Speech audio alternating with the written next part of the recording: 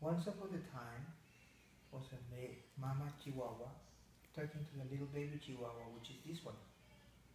They were crossing the border of Mexico, going to USA. The little baby chihuahua was tired and thirsty.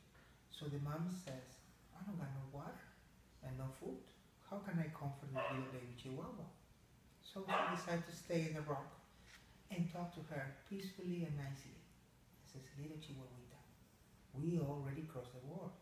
So now we need to rest to get some strength because the, the, the road is long.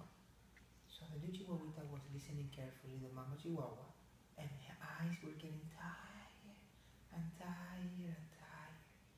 And the little mama chihuahua says, I promise you when we go to USA, you're gonna be no more illegal. You're gonna be legal. So we're gonna change your name and you're gonna call Snuggles. Because this is all about Snuggles.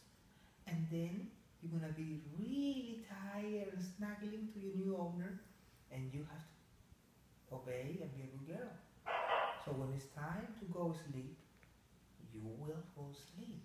Your little eyes gonna turn heavy and heavy and heavy and you're gonna be rub your belly the belly like this. Oh, the belly like this.